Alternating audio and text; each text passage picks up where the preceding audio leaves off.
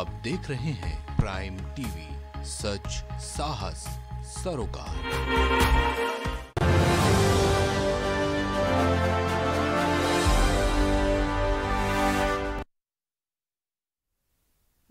प्रदेश की खबरों में आपका स्वागत है। मैं हूँ आपके साथ अनुष्का सिंह। पहली खबर की तरफ़ रुक करते हैं जो फतेहपुर से सामने आ रही है, जहाँ कैबिनेट मंत्री नंद गोपाल गुप्ता ने अखिलेश यादव पर हमला बोलते हुए कहा कि जिसको सब कुछ विरासत में मिला, उसे कुछ पता ही नहीं होता। आगे उन्होंने कहा कि कुछ दिन पहले अखिलेश ने जिन्ना को देश का आदर्श बताया था।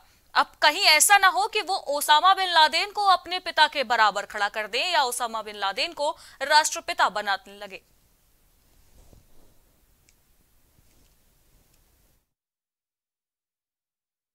उत्तर प्रदेश जैसे महत्वपूर्ण राज्य के मुख्यमंत्री रहते हुए पूरे पाँच साल इन्होंने वीडियो गेम खेलने में, ट्विटर में और फेसबुक में बिता दिए।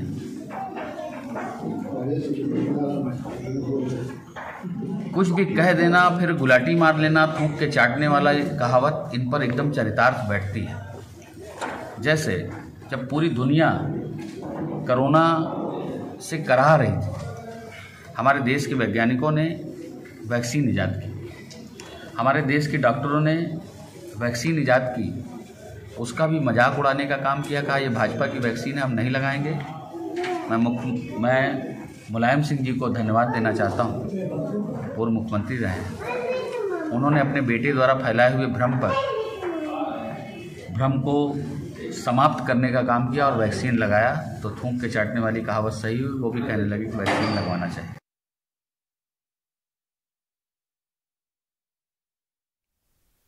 वहीं मैनपुरी में कैबिनेट मंत्री नंदगोपाल नंदी के विवादित बयान पर सपा विधायक राजकुमार यादव ने पलटवार करते हुए विवादित टिप्पणी की। उन्होंने कहा कि अखिलेश यादव एक संस्कारी पिता के संस्कारी पुत्र हैं, जबकि कल जो नेता मंत्री ने भौंका है, ऐसा लगता है कि उसका डीएनए कराना पड़ेगा कि वो किस प्रजाति के हैं। जबकि आगे सपा विधायक ने भाषा की मर्यादा को तोड़ते हुए भी कई विवादित बयान दिए, जहाँ पर उन्होंने कहा कि बीजेपी ने लादेन रूपी दामाद बना रखे हैं। चलिए आपको भी सुनाते हैं कि सपा विधायक ने क्या कुछ कहा।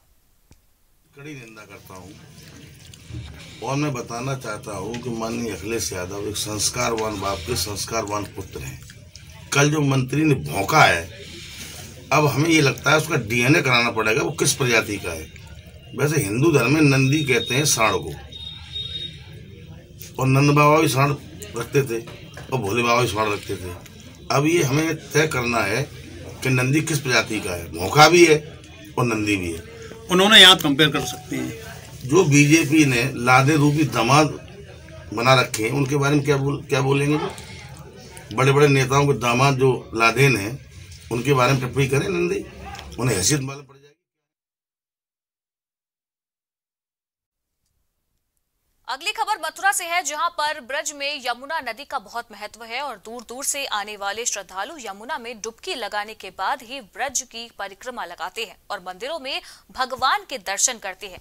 लेकिन अब यमुना नदी इतनी दूषित हो चुकी है कि लोग अब इसमें डुबकी लगाने से भी कतरा रहे हैं, जबकि यमुना नदी का सुंदरीकरण के नाम पर यमुना के आसपास यमुना मिशन संस्था ने पौधारोपण करके ज़मीन पर भी अब कब्जा कर लिया है। लेकिन यमुना का पानी आज भी दूषित है।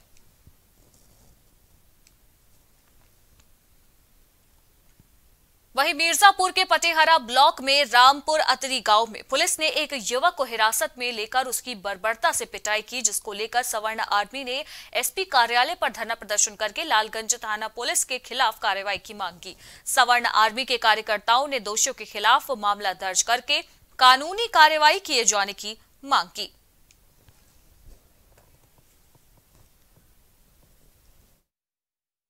मेरा नाम सर्वेश पांडे है और मैं सौड आर्मी प्रमुख हूँ। जैसा कि आप लोगों को पता होगा कि थाना लालगंज के अंतर्गत जो वहाँ के थाना प्रभारी हैं, उन्होंने योगेश तिवारी को मतलब समझिए कि गैर कानूनी तरीके से पकड़ करके 48 घंटे अपने अंडर में रखे और उनको बर्बर तरीके से उनको प्रताड़ित किया गया, उनके गुप्तांग में डंडा डालकर उनको मारा गया। तो ये जो अत्याचार हुआ है और उनके ऊपर फर्जी 307 का मुकदमा लगवाया गया। तो ये जो अत्याचार हुआ, उस अत्याचार के खिलाफ आज पूरे ब्राह्मण समाज और सौर समाज के लोग यहाँ पर एकत्रित हैं। अगली खबर रायबरेली से है, जहाँ पर प्राथमिक स्वास्थ्य केंद्र सलोन में डॉक्टरों की बहुत बड़ी कमी सामने आई है, जहाँ सीएचसी डॉक्टर मोहम्मद अख्तर ने नसबंदी ऑपरेशन किया था, जिसके एक साल होने पर महिला के प्रेगनेंसी टेस्ट से पता चला कि वो नसबंदी ऑपरेशन के बावजूद भी गर्भवती हो गई है, जबकि गाँव की आशा बहू से जानकारी मांगने पर उसने जानकारी देने से भी साफ़ इनकार कर दिया।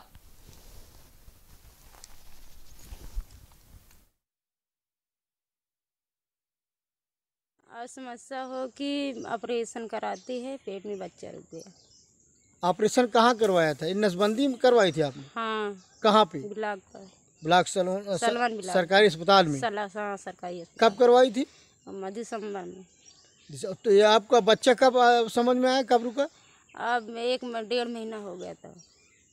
कितने बच्चे हैं आपके? दो लड़का एक लड़की।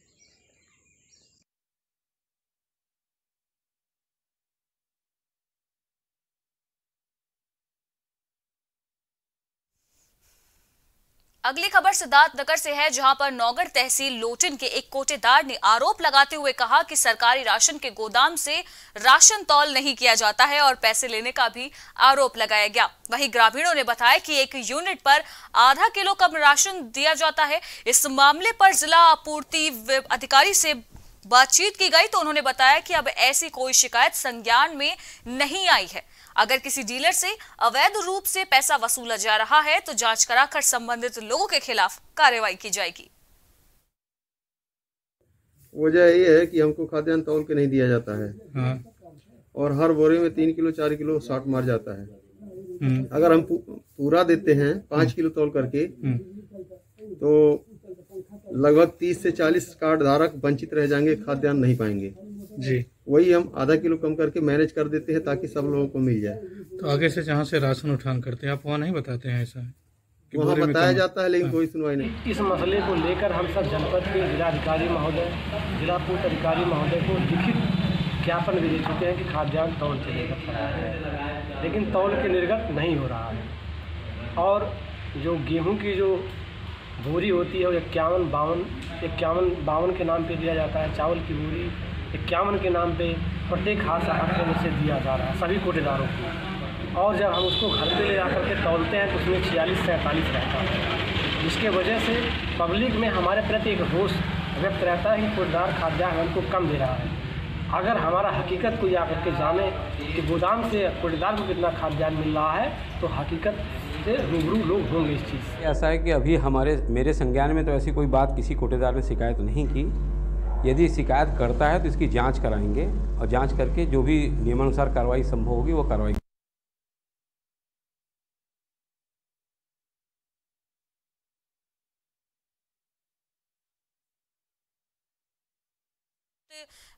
कोटेदार पर सरकारी गोदाम में इस वक्त गंभीर आरोप लगाए गए हैं। अगली खबर सिद्धार्थनगर से है, जहाँ पर किसानों में खुशी देखने को मिली है और उनकी खुशी की वजह थी घना कोहरा और शीतलहर, क्योंकि किसानों का मानना है कि जितना ज़्यादा कोहरा और शीतलहर होगी, गेहूँ की फ़सल भी उतनी ही अच्छी पैदावार होगी। जबकि इस रवि के सीज़न में किसानों को उर्वरक के लिए काफ़ी भटकना पड़ा और किसी तरह से किसान उर्वरक लेने में कुछ हद तक सफल भी हुए, जबकि सरकार ने नहरों की सफ़ाई तो करा ही दी है, लेकिन नहरों में पानी नहीं आ रहा है, जिससे किसान अपने खेतों में पंप सेट से सिंचाई करते दिखाई दे रहे हैं। तो वही किसानों का कहना है कि अगर शीतलहर पंद्रह दिन तक और रहेगी तो किसानों की फ़सलें अच्छी होंगी। अब शीतलहर को बरदाने इसलिए फ़सल के लिए मान लीजिए दस दिन, चार दिन ठंडी रहेगा, दस दिन तो आदमी कपड़ा से घर में बैठा रहे, रह जाएगा, लेकिन वो फ़सल के लिए बहुत फ़ायदेमंद है शीतलहर।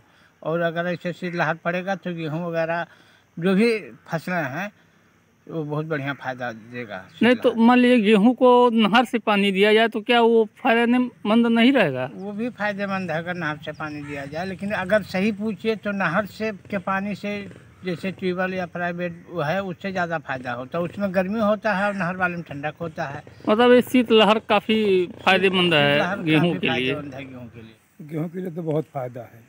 तेलहन दलहन के लिए नुकसान है लेकिन गेहूँ के लिए फ़ायदा है। अच्छा ये शीत कब तक से कब तक गिरे? कि उससे गेहूँ के लिए बढ़िया फ़ायदा हो। समझ लो कि जब तक गेहूँ फूटे ना तब तक गिरे तो अच्छा है। कितने दिन तक? ये समझ लो पूरा जनवरी तक रहे। अच्छा मतलब पूरा जनवरी शीत गिरे तो गेहूँ के लिए फ़ायदा है। हाँ बहुत फ़ायदा।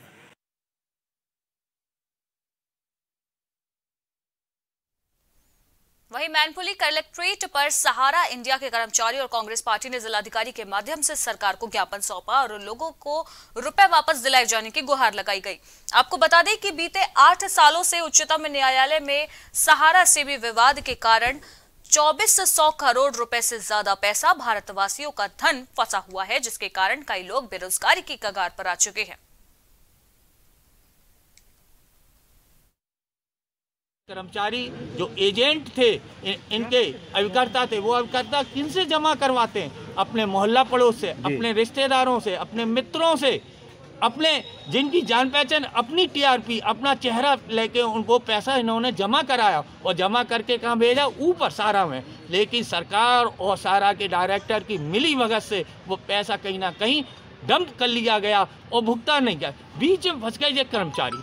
अब इनके आगे तो आगे मौत पीछे खाई है, क्योंकि वे लोग जिनका जमा करवाया है, वो इनसे भुगतान मांगते हैं। ये कहते हम तो आपको जानते हैं, आपने हमारा पैसा जमा कराया है।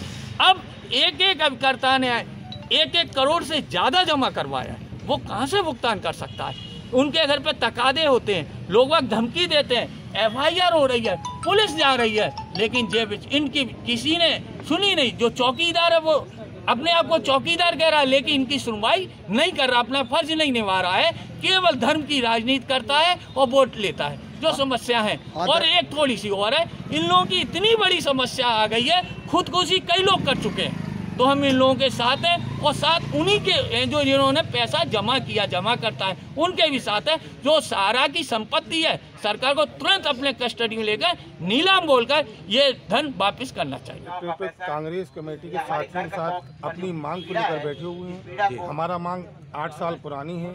सारा से भी विवाद को लगभग आठ साल हो गए हैं। कंपनी का करीब चौबीस हज़ार करोड़ रुपए इस विवाद में फंसा हुआ है। इस चौबीस हज़ार करोड़ के तहत हमारी गरीब जनता और हमारे कार्यकर्ता बहुत परेशान हैं। लोग बाग उसमें जमा करता और कार्यकर्ता खुदकुशी भी कर रहे हैं। घर से निकलना ही मुश्किल हो गया है। हम लोगों का कारोबार भी छिन गया है और गरीब जनता का पैसा जिस उम्मीद से उन्होंने जमा किया था किसी कार्य कार्य बस काम काम करने के लिए उनको टाइम से नहीं मिल पा रहा है। वो अपना कार्य भी नहीं कर पा रहे हैं और वो कार सहारा के कार्यकर्ताओं को बहुत ज़्यादा प्रताड़ित करते हैं बहुत ज़्यादा अपशब्द कहते हैं। उसमें कुछ कार्यकर्ता हमारे हमारी अगली खबर मथुरा से है, जहाँ पर वार्ड नंबर तेरह यमुना पार के तिवारीपुरम के लोग नरकीय जीवन जीने को मजबूर है, जिनके घरों में सीवर लाइन का पानी घुस जाता है और लोगों को आने जाने में भी काफ़ी कड़ी मशक्कत करनी पड़ती है। जबकि बीते दो महीनों पहले ऊर्जा मंत्री श्रीकांत शर्मा ने तिवारीपुरम का दौरा भी किया था और यहाँ सीवर लाइन की समस्या को लेकर 20 दिन में उसे ठीक कराने का वादा भी किया गया था। लेकिन आज तक समस्या ज्यो की त्यों बनी हुई है और अब सीवर की समस्या से परेशान होकर लोगों ने 2022 विधानसभा चुनावों के बहिष्कार का ऐलान कर दिया है। और 20 दिन पहले मंत्री जी आए थे उन्होंने 20 दिन का आश्वासन दिया था और आज तक कोई समस्या का समाधान नहीं हुआ है। इसकी शिकायत आपने नगर निगम में की? नगर निगम में दसवीं बार शिकायत की है आप। किससे? मेयर साहब से भी की और और नगर आयुक्त से भी की इनसे सबसे शिकायत की है।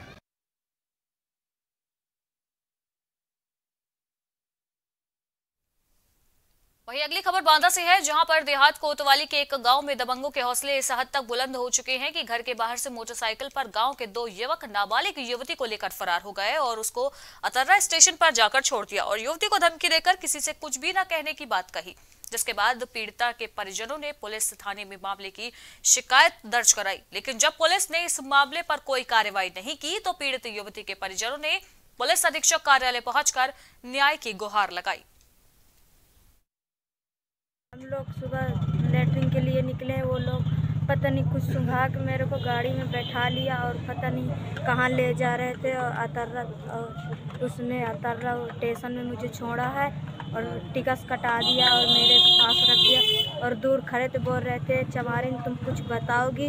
तो तुम लोग को हम जान से मार देंगे आपके परिवार वालों को मार देंगे। कौन लोग था जो ले गया था तुमको? वो लोग राजू तिवारी था और सूरज विश्वकर्मा था। अच्छा दो लोग ले गए थे तुम हाँ गाँव से उठा ले गए थे चौराहा से। तो तुम कहाँ गई थी? थी टट्टी गई थी। अच्छा तो उठा ले गए थे। हाँ। फिर कहाँ पे होश आया तुमको? अतर्रा में अतर्रा में। फिर थाने गई थी? हाँ क्या हुआ थाने में? तो कुछ नहीं उसने लिखा था अच्छा थाने में कुछ नहीं लिखा? नहीं थाने गई थी तुम लोग? हाँ। बताया पूरी बात वहाँ पर? हाँ कुछ नहीं हुआ? कुछ नहीं हुआ। कितने दिन हो गए घटना को? परसों। परसों की घटना है? हाँ सुबह छः बजे। अभी तक कोई आरोपी गिरफ़्तार नहीं हुआ? नहीं ये गिरो ये थाना कोतवाली क्षेत्र के एक गाँव की लड़की के लिए आरोप है कि गाँव के दो लड़के उसको बाला पुतला कर बातर्रा रेलवे स्टेशन ले गए थे। यहाँ पर किसी व्यक्ति द्वारा फ़ोन करके इनके माता पिता को बुलवाया गया और ये लोग लड़की को लेकर वापस आए हैं। इनके द्वारा लड़की के अपहरण के संदर्भ में प्रार्थना पत्र दिया गया है, जिसकी जाँच करा के प्राथमिकी दर्ज कराकर आवश्यक कार्रवाई की जाएगी। वहीं बस्ती के वॉल्टरगंज थाना के गौरा गाँव में बीते दो जनवरी को किशोरी का शव गेहूँ के खेत में मिला था, जबकि किशोरी के शरीर पर धारदार हथियार से वार करके निशान बने हुए थे, जिसका खुलासा पुलिस ने करते हुए दो आरोपियों को गिरफ़्तार किया है। आरोपियों ने पूछताछ बताया कि प्रेम प्रसंग के चक्कर में इस वारदात को अंजाम दिया गया था। आरोपी युवक के मुताबिक उसे अपनी प्रेमिका को किसी दूसरे युवक के साथ उसने देख लिया था, जिसके बाद अपना आपा होते हुए युवती पर ताबड़तोड़ वार करके उसे मौत के घाट उतार दिया गया और शव को छिपाकर खुद मौके से वो फरार हो गया था। प्रकार से इस पूरे अभियोग में जो क्राइम नंबर तीन बटे दो बाईस जो मूल रूप से तीन सौ दो आई में पंजीकृत था, उसमें धारा तीन सौ छाछठ, तीन सौ दो दो सौ एक में इन दोनों अभियुक्तों की गिरफ्तारी कर ली गई है और इसमें अभियुक्त की निशादेही पर आला कत्ल भी बरामद कर लिया गया है। अभियुक्त के जो कपड़े, घटना के समय जो उसने पहने थे, जिस पर कि ब्लड के धब्बे लगे हुए हैं। उसका, उसको बरामद किया गया, जो आपके सामने प्रस्तुत किया गया है। और इस अच्छे कार्य के लिए और सफलतापूर्वक इस घटना का अनावरण करने के लिए पूरी टीम को पुलिस अधीक्षक महोदय द्वारा दस हज़ार रुपये का नगद पुरस्कार भी दिया गया है। और एक अच्छा कार्य हुआ है और बिल्कुल सफलतापूर्वक इस केस का अनावरण किया गया है।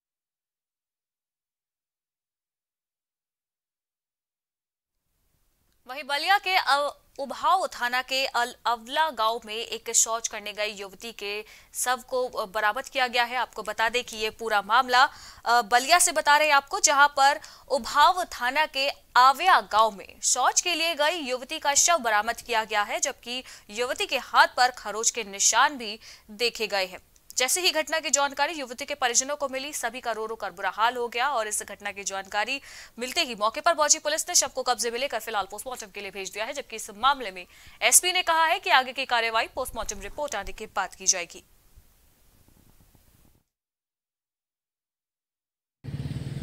देखिए, आज सुबह सूचना मिली है, थाना उभाव के अवाया ग्राम सभा में, एक ये छोटी माइनर निकलती है।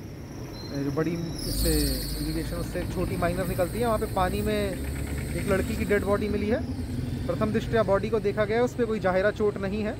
लड़की की पहचान हो गई है, उसके घर वालों ने थाने पर सूचना दी है जिसके क्रम में बॉडी को पीएम के लिए भेजा गया है। पीएम में जो भी जानकारी आएगी, उससे आपको अवगत करवा के अग्रिम विधि कार्रवाई से अवगत करवाया जाएगा।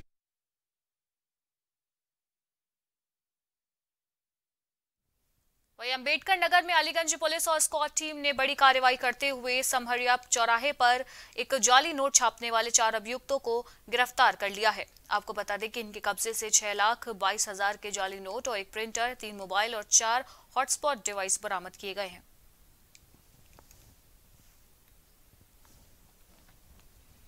वहीं मैनपुरी के भोगांव थाना क्षेत्र में चेकिंग के दौरान पुलिस और बदमाशों के बीच मुठभेड़ हो गई, जिसके बाद पुलिस ने तीन अभियुक्तों को गिरफ़्तार कर किया है और उनके कब्जे से अवैध हथियार, चोरी का सामान और एक मोटरसाइकिल बरामद की गई है।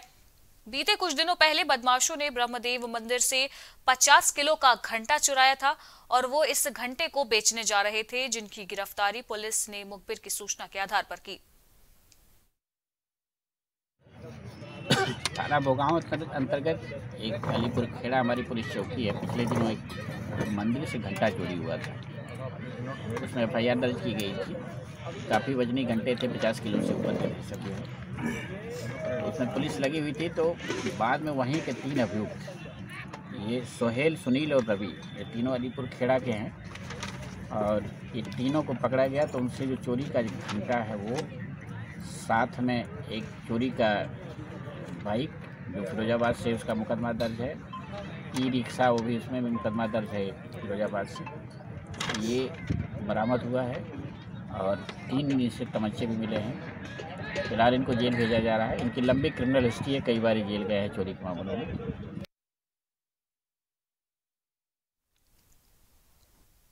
अगली खबर रायबरेली से है, जहाँ पर पुलिस अधीक्षक के निर्देशन पर चलाए जा रहे अभियान में एक बड़ी सफलता एसओजी की टीम और सलोन पुलिस को बरामद हुई है, जहाँ पर लूट, चोरी और डकैती की योजना बनाते हुए 11 अपराधियों को पुलिस ने बंद करके एक फैक्ट्री से गिरफ़्तार किया है। आपको बता दें कि इस दौरान गिरफ़्तार अभियुक्तों ने पूछताछ बताया कि गिरोह ने कई जगहों पर लूट की वारदात को अंजाम दिया था।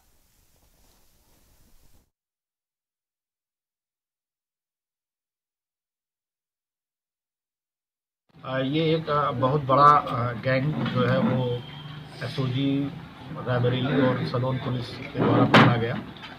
इसमें कुल 11 सदस्य हैं और ये विभिन्न तरह के क्राइम जैसे कि लूट, चोरी और इवन की डकैती भी कर लेते थे। और ये सभी के सभी इसमें प्रतापगढ़, लालगंज, अठारह क्षेत्र के रहने वाले हैं। और इनके द्वारा पिछले, विगत कई महीनों में सलोन क्षेत्र में लूट, चोरी और क्या कहते हैं, डकैती की योजना बनाते समय तमाम तरह की वारदातें इनके द्वारा की गई हैं। इनकी दो बातें जो पूछताछ में मुख्य रूप से निकल के आई। ये बेसिकली डकैती की योजना बना रहे थे। साथ ही इनको किसी एक मंदिर में छुपे हुए गुप्त धन की जानकारी थी। जिसको वो जाके वहाँ से निकालने के फिराक में थे और इन्होंने ये भी पूछताछ में बताया कि अगर उसको कोई रोकता तो हम उसको मार भी सकते थे।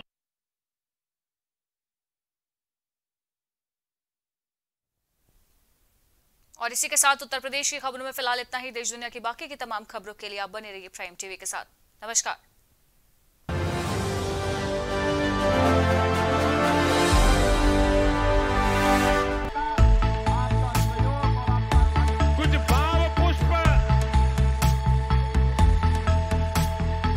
आप देख रहे हैं प्राइम टीवी सच साहस सरोकार।